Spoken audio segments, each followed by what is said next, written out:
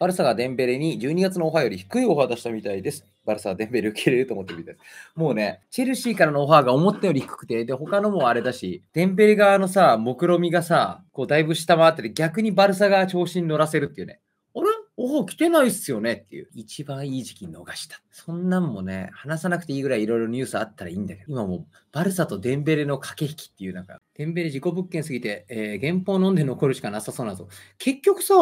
あの、デンベレをさ、どこも取らないから、デンベレもバルサ残りた感じじゃない？だってね、こんだけ契約延長先延ばししてて、普通なら他のところがいい条件出してきたら、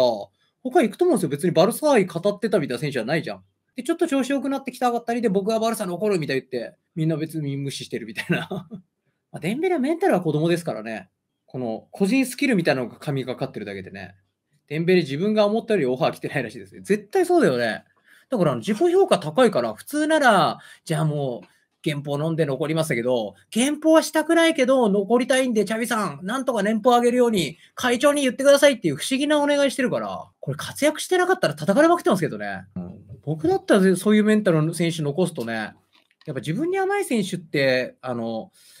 管理コストかかりますからね。あの、ラフィーナの移籍金かかるところなんですよね、バルサも痛いたいのが。ラフィーナの移籍金が、リーズが残留したから思ったよりかかる。ってなると、微妙なウィング取ってくるぐらいだったら、デンベレ活躍したし、ラフィーニャ取りたいけどメンタリティ的にも戦えるし、なんなら戦いすぎるぐらいだしね。